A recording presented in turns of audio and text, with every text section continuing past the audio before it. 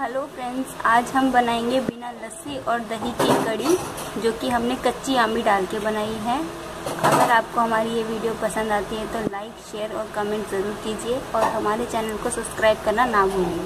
Thank you. इसको बनाने के लिए हमने छान कर बेसन ले लिया है। इसमें थोड़ा थोड़ा पानी डाल के इसको अच्छे से मिक्स कर लेना है। अब इसमें थोड़ा सा पानी और डालेंगे।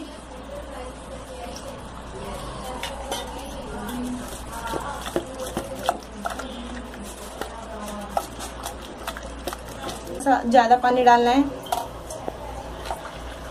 मुझे नहीं पता।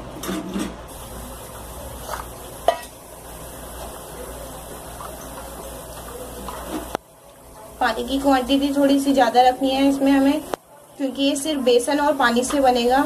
दही और लस्सी का यूज़ नहीं होगा इसमें। हमने एक कढ़ाई में ते, तेल ले लिया है जो कि गर्म हो चुका है तेल। अब इसमें हम हींग डालेंगे।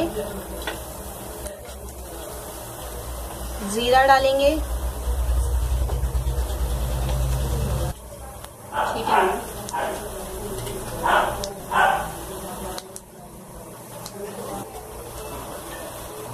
अब हम जो एक हमने को डालेंगे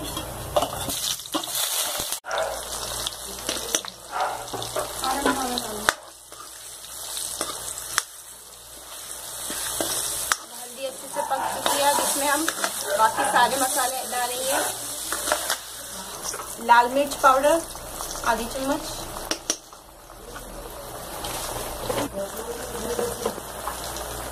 आधी चम्मच से कम थोड़ा सा धनिया।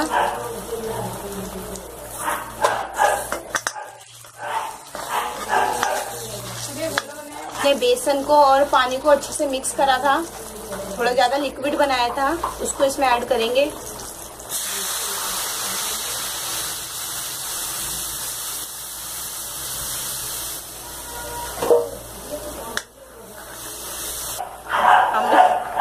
हमने इसमें थोड़ा सा पानी और ऐड कर लेंगे अब।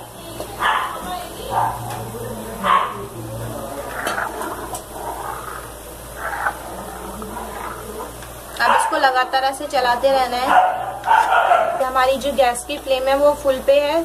इसमें जब उबाला जाएगा, उसके बाद हम गैस की जो फ्लेम है वो लो कर देंगे। तो अब हमें उबाल आने तक ऐसे ही पकाना है। हमें इसको लगातार चलाते रहना है। इसमें उबाल आ जाएगा। जब तक उबाल नहीं आता इसमें, हमें लगातार इसको चलाना है।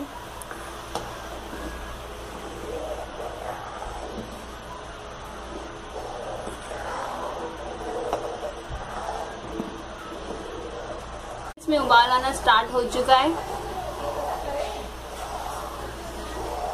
थोड़ी देर बाद हम इसे चलाना बंद कर देंगे, पकने देंगे इसको। ये देखिए, इसमें अच्छे से उबाल आ चुका है। अब हम गैस का फ्लेम लो कर देंगे और लो करने के बाद हम इसे 15 से 20 मिनट तक पकने देंगे।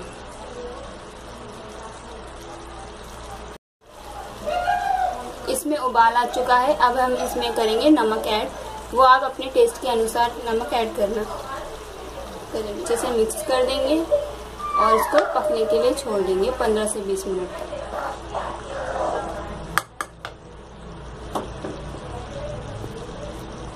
ये देखिए, हमारी कड़ी तैयार हो चुकी है। अब हम इसे तड़का लगा के सर्व करेंगे। ये देखिए, हमारी कड़ी तैयार हो चुकी है। Thanks for watching